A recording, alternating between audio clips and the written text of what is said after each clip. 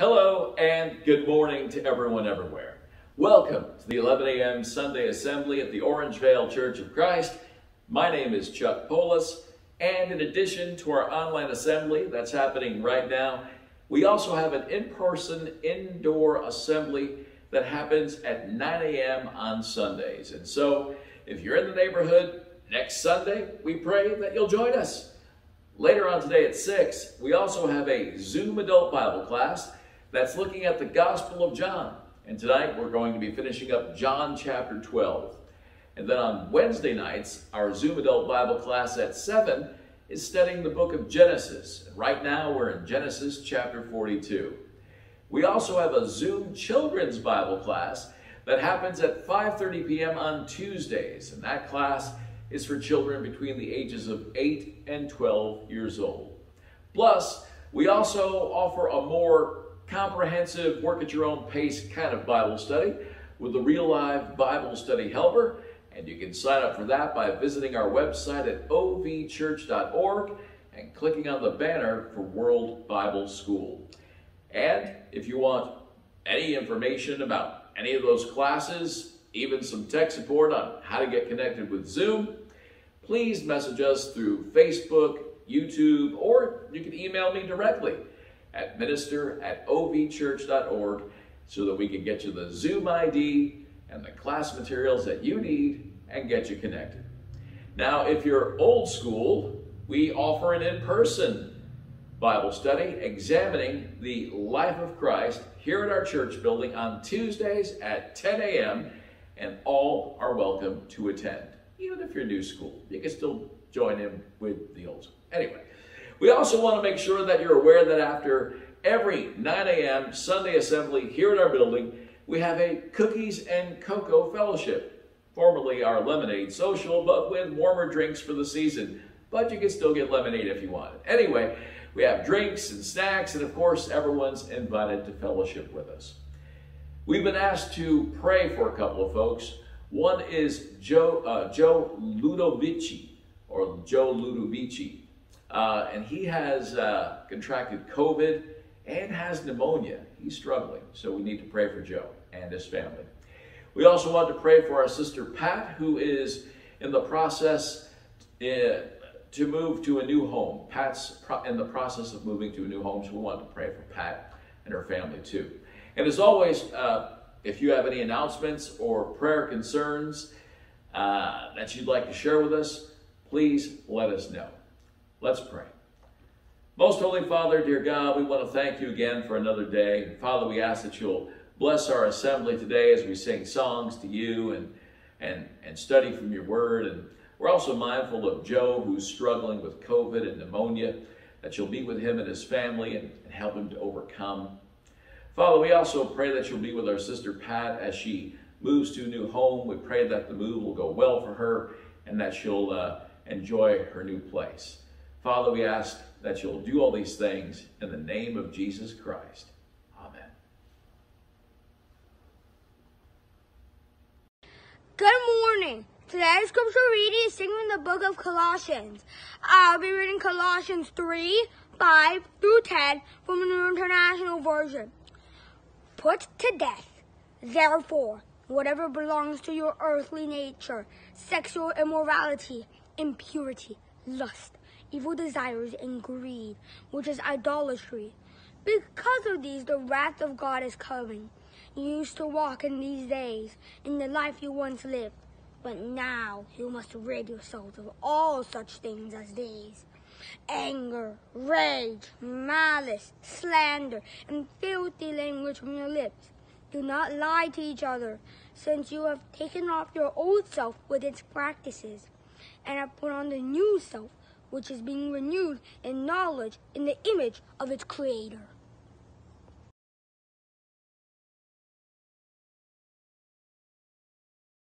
Sing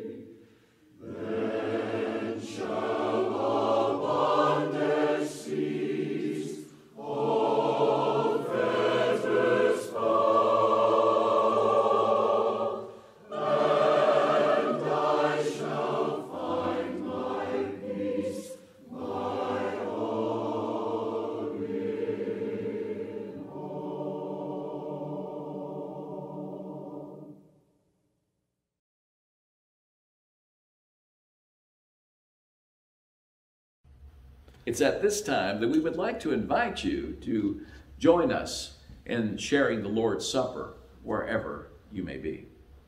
Over in 1 Peter chapter 2, Peter shares with Christians there who are having to deal with abusive masters and oppressive conditions and persecutions these encouraging words, starting in verse 19. He writes, For it is commendable if a man bears up under the pain of unjust suffering because he is conscious of God. But how is it to your credit if you receive a beating for doing wrong and endure it? But if you suffer for doing good and you endure it, this is commendable before God. To this you were called because Christ suffered for you, leaving you an example that you should follow in his steps. He committed no sin, and no deceit was found in his mouth. When they hurled insults at him, he did not retaliate. When he suffered, he made no threats. Instead, he entrusted himself to him who judges justly. He himself bore our sins in his body on the tree so that we might die to sins and live for righteousness. By his wounds, you have been healed. When Jesus came preaching and teaching about the kingdom of God, he endured terrible ridicule and suffering, ultimately at the cross. But he did so willingly because he was faithfully fulfilling the mission that God gave him. Today, you might be suffering for one reason or another. It might be that you're sick, or God only knows why you're suffering. But you are. Just remember that Jesus, who did absolutely nothing wrong and only did things to bless others and to try to lead them to God, suffered terribly for you and me. And so he himself bore our sins in his body on the tree so that we might die to sins and live for righteousness. By his wounds, you have been healed. Let's take this time to remember Jesus' sacrifice for us in the bread and the cup. Let's pray. Father God, we want to thank you for this bread, this bread that represents your son's body. As we partake of it, help us do so in a worthy that's pleasing to you. In Christ we pray.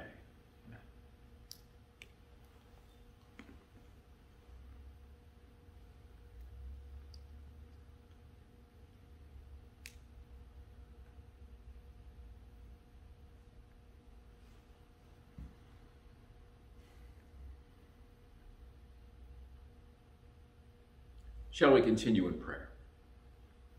Most Holy Father, again, we want to thank you for this fruit of the vine, this cup that represents your Son's blood shed on the cross. Father, as we think about that precious gift given to all of us, Father, might we do so in a way, again, that is worthy, Father. In Jesus' name we pray.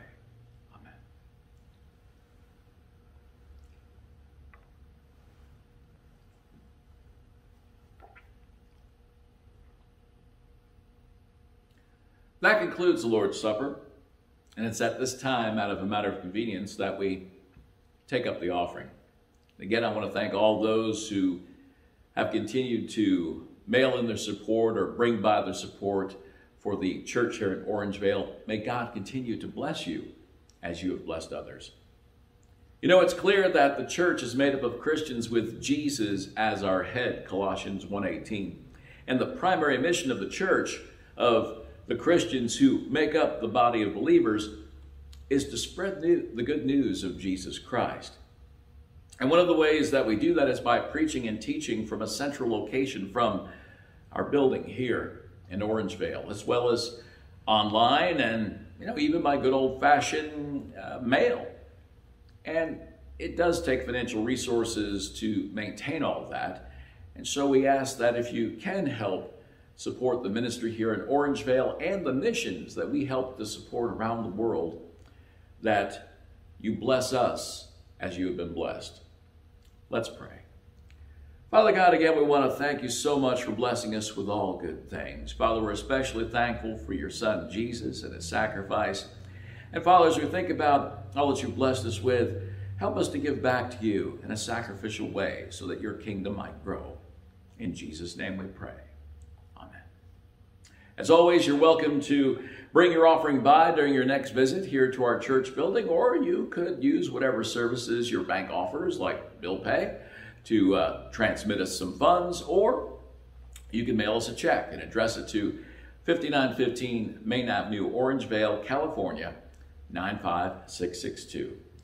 It's at this time that we would like to encourage you to sing along with the song before the message today.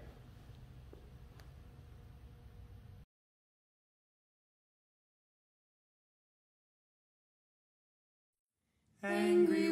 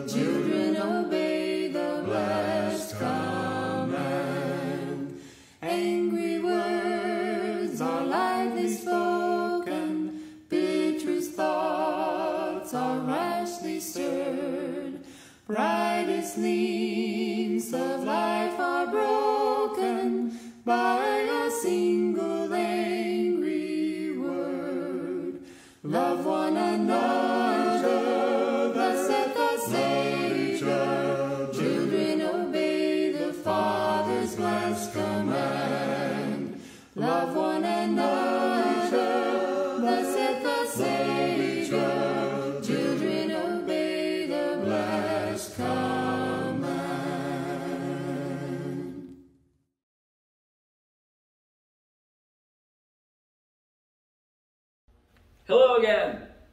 You know, I think it's fair to say that all of us have said something that we wished we didn't say.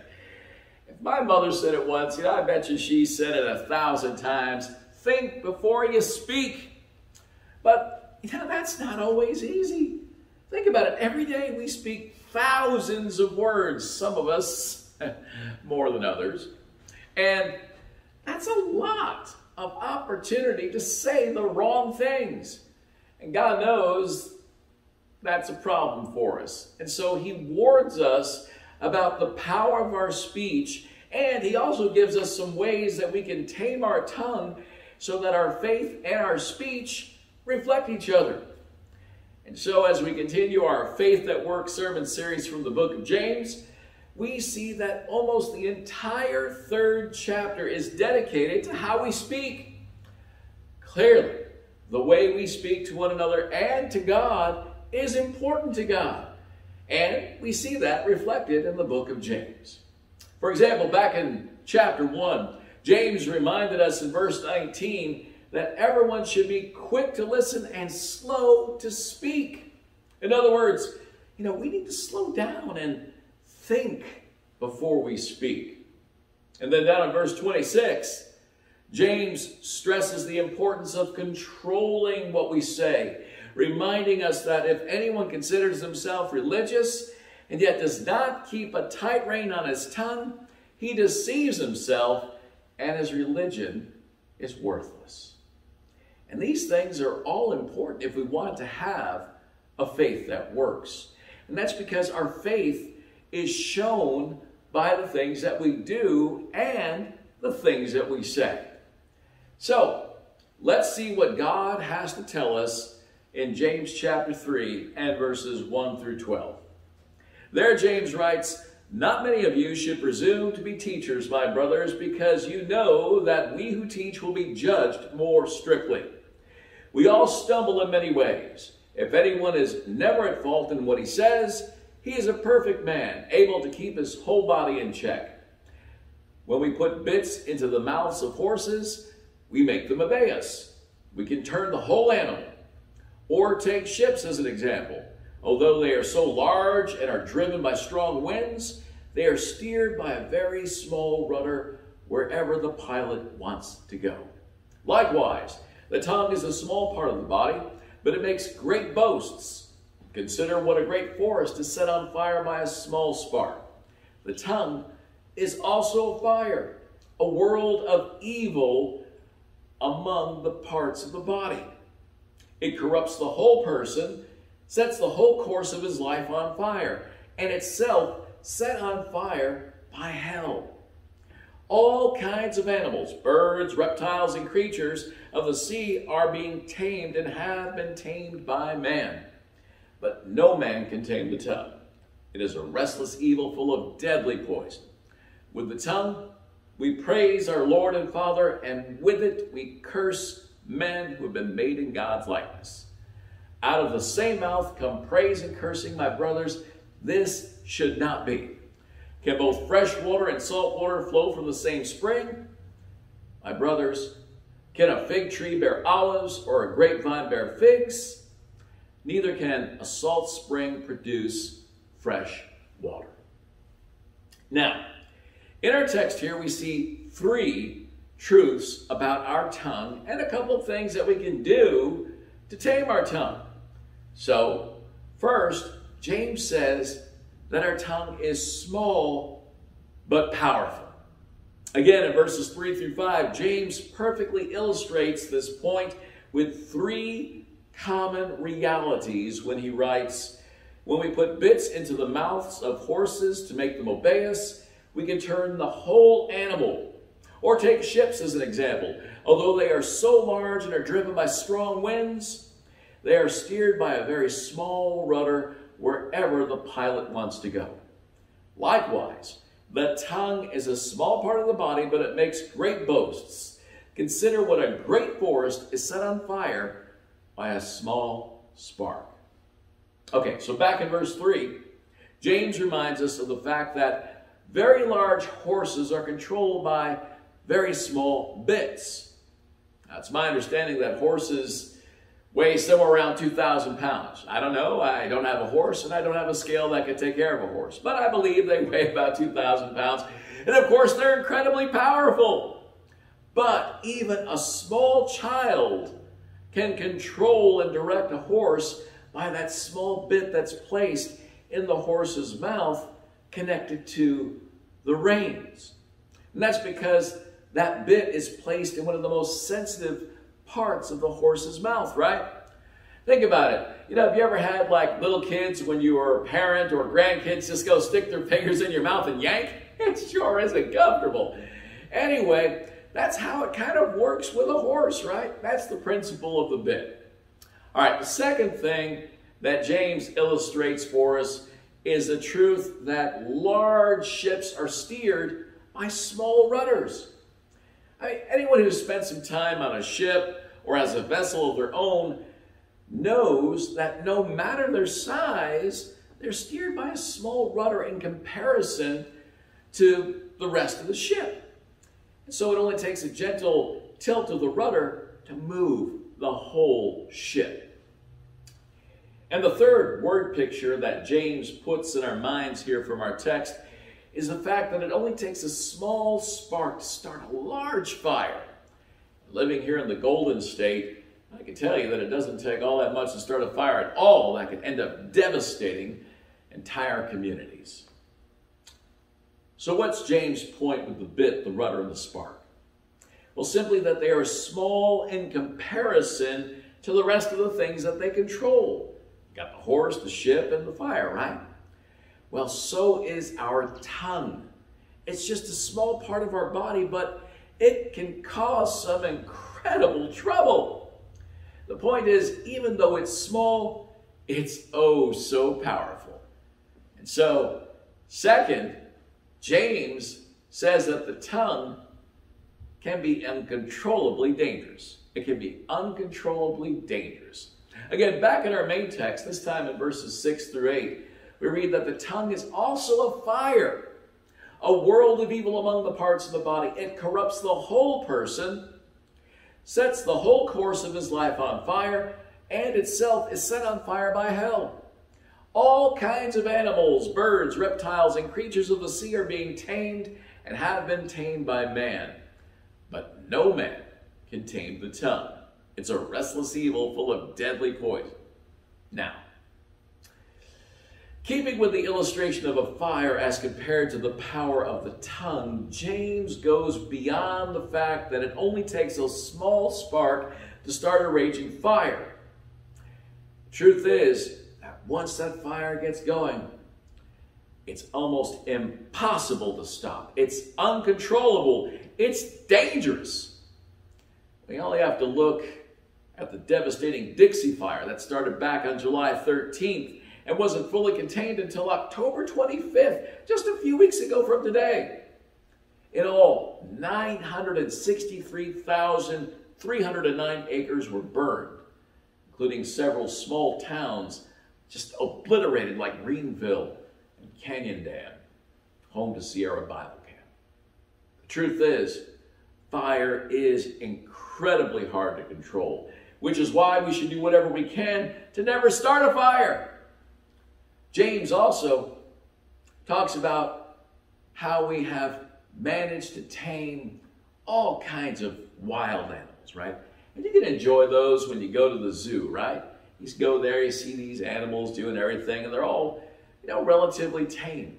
That said, while we can tame those animals, it's almost impossible to tame our tongue, with James calling it a restless evil, full of deadly poison, kind of like a venomous snake on the loose. You know, I don't know too many people that try to wrangle snakes. Most sane people simply run from snakes, you know, and that's how James wants us to treat a venomous tongue, right? Get away from it. Again, James' point is that the tongue can become uncontrollably dangerous. It can set the whole course of a person's life on fire, destroying reputations, families, futures. Third, James reminds us that the tongue is terribly inconsistent. Again, back in James chapter 3, this time in verses 9 and 10, James writes, With the tongue we praise our Lord and Father, and with it we curse men who have been made in God's likeness. Out of the same mouth come praise and cursing, my brothers. This should not be. And he's right, isn't it? This should not be.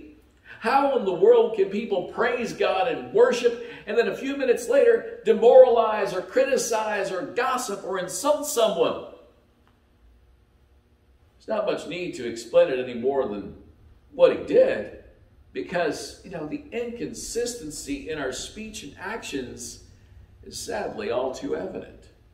But the problem is that our speech is supposed to be consistent with godly speech and godly actions. And so James points that out with two rhetorical questions showing consistency and nature in verses 11 and 12. Again, saying, Can both fresh water and salt water flow from the same spring? My brothers, can a fig tree bear olives or a grapevine bear figs? Well, neither can a salt spring produce fresh water.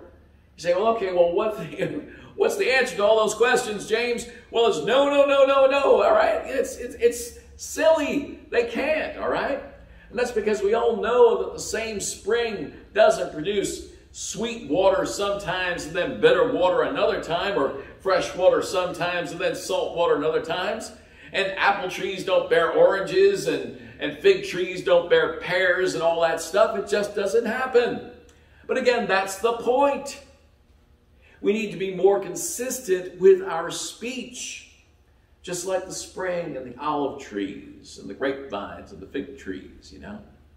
Just think about it. If we're going to be God's people, then the output or the fruit of our lips needs to be consistent with good and godly actions and speech. It's just the way it's supposed to work. Again, James told us here that the tongue is small but powerful, right? He also told us that it's uncontrollably dangerous and can be terribly inconsistent. And while that's the reality of the situation, you know, do we just throw our hands up and just kind of give up? Well, some people might, but God wants his people to learn to tame our tongues. And with God's help, we can. And God clearly believes that we can because there's so many scriptures that talk about good and godly speech. So just what is God's plan for taming the tongue? Well, it's fair to say that there are good and bad things that come out of our mouths. And the only way that we can avoid those bad things is to know what they are so that we can avoid them, right? So, what kind of speech should we avoid? Well, take a look at Ephesians chapter 4 and verse 29. There, the Apostle Paul tells us, Do not let any unwholesome talk come out of your mouths, but only what is helpful for building others up according to their needs, that it may benefit those who listen. So, first on our list is unwholesome talk or corrupt talk, depending upon your translation. And what that is, is all kinds of profanity and vulgar speech, right? Everything from F bombs to vulgar slang for people and body parts. I don't know, maybe instead of someone limiting their vocabulary with F bombs, maybe they should actually say what they mean. Like, you know, wow, that really hurt. Or that's amazing. Or I don't want anything to do with you. At least say what you actually want to say rather than using some sort of foul, vulgar language. Still, that's only half the equation, right? Because we're not, we're not only supposed to not let any unwholesome talk come out of our mouths, but instead we're supposed to say things that are helpful for building others up according to their needs. Just think about it. Instead of cussing someone out for doing something bad or doing a bad job, maybe you should say, you know, something like, you know, I, I know that's not the outcome we wanted. You know, do you need some help to get the job done better? You know, you kind of get the idea, right? You know, sure, it's a harder thing to do for us to think about all that and actually get involved to help things along, but it's the good and godly way to speak and act, showing our faith at work. Another thing that we should do is avoid complaining and arguing. And I know that can be really hard for some people because it's all they seem to do. They complain and argue about sports or about work or about food or about the government or whatever post they can find on Facebook or Twitter or wherever. I mean, really, it's kind of just, ah, quit it already, you know? Again, the Apostle Paul has godly words of advice for the complainer over in Philippians chapter 2 and verses 14 and 15, where he tells us to do everything without complaining or arguing, so that you may become blameless and pure children of God, without fault in a crooked and depraved generation in which you shine like stars in the universe. You're not going to shine if you're busy complaining and arguing all the time. You know, you're going to become a part of that mud muck. But yet another thing that's important for the Christian to avoid in their speech is gossip and slander. Proverbs 20 and verse 19 says it this way A gossip betrays a confidence, so avoid a man or woman who talks too much. All right? Just think about all the damage that gets done when people talk about others behind their back. This is one of Satan's most effective tools to destroy friendships and families and even the Lord's church. And so before anyone says anything about anyone else, they should just stop and ask themselves, you know, why am I about to talk about this person? Especially if they're not there, you know? All right. Fourth, we should avoid lying. I don't really know if we need to say much about that, except, you know, lying is usually covered by more lying and more lying and more lying until there's nothing left that's true. So don't lie. And fifth, good and godly speech avoids negativity that criticizes and tears people down. Basically, remember the old adage if you don't have anything nice to say, don't say it at all. That said, there is a proper time for correction and constructive criticism, but it must be approached wisely with a lot of love and gentleness. Okay, so that's God's plan for taming the tongue. What about God's plan for using the tongue? Well, first of all, we are supposed to use our tongue for praise and for prayer and for confession and thanksgiving. We should also use our tongue for teaching others about the love of God, teaching them about the gospel, right? And like we already mentioned, we should use our tongue to encourage and build others up according to their needs. Solomon says it this way over in Proverbs 25 and verse 11 A word aptly spoken is like apples of gold and settings of silver. In other words, it's beautiful, right? And he adds over in Proverbs 12 and verse 25, saying, An anxious heart weighs a man down, but a kind word cheers him up. And I don't know about you, but I'd rather be cheered up than torn down, right? I think we all do. We all want to be cheered up, right? Another way that we can properly use our speech is to bless our relationships, to bless one another. And we can do that by, by learning some of the most important short sentences and making them a part of our vocabulary. Word, phrases like, I love you, or thank you, or I'm sorry, please forgive me, or how can I help out? Or maybe, could you help me with this? I'm sure you get the idea. Still, I know it's hard to control your speech. Just because I'm a preacher doesn't mean that I've got it easy. As a matter of fact, it might be harder sometimes. No, but it does mean that you know, I do know a few things that have personally helped me. So, what are those things? Well, one of those things is to simply ask God for help. Think about it God is the only one who really can help us. And so, throughout the day, make sure that you pray for the ability to say good and godly things. Another thing that you can do is to practice being slow to speak. I don't mean slow, right? I mean, thinking before you speak, right? Don't be quick to answer.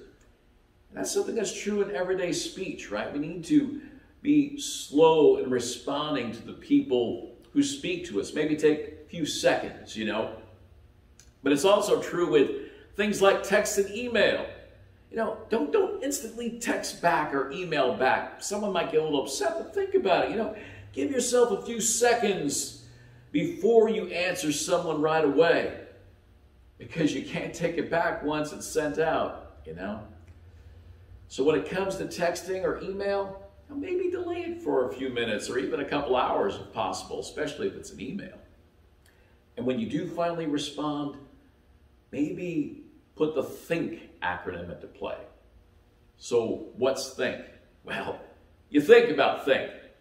It's an acronym and it stands for true, helpful, inspiring, necessary, and kind. So the T stands for is it true? Ask yourself these things before you speak. Is it true? H, is it helpful? I, is it inspiring? And is it necessary? We say a lot of things that aren't necessary. And finally, K, is it kind? So try putting that into action. Think before you speak using the THINK acronym. Again, Solomon has some wise words for us over in Proverbs 10 and verse 19, where he says, When words are many, sin is not absent, but he who holds his tongue is wise. You need to be slow to speak. Just one more thing. Sometimes what we really need to improve our speech is heart surgery. I don't mean literal physical heart surgery, but a spiritual heart surgery. Here's what James taught us about that over in, I'm sorry, here's what Jesus taught us about that over in Matthew chapter 12 and verse 34. There Jesus says, For out of the overflow of the heart, the mouth speaks. The point is, if we don't want awful stuff coming out of our mouths, then we need God's help to get that awful stuff out of our hearts. Or to simply not get it in there in the first place, right? So maybe the best way to do that is to fill our hearts with all kinds of good and godly things to begin with. To avoid all that filth and nasty stuff out there. That way, what comes out of our mouths, well, it reflects our faith like it should. It reflects a faith that works for taming our tongues.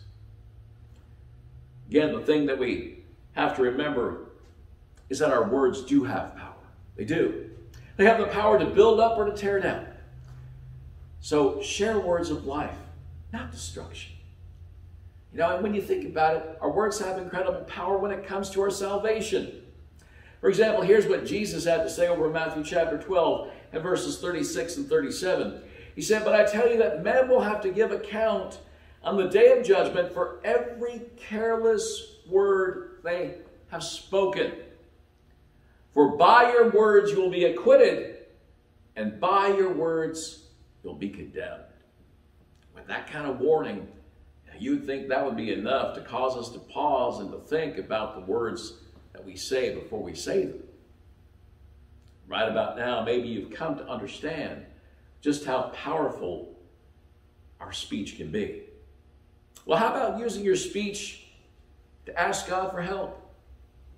Or maybe ask God to help others. Or maybe we need to speak up and ask God for forgiveness. Or maybe ask others for forgiveness.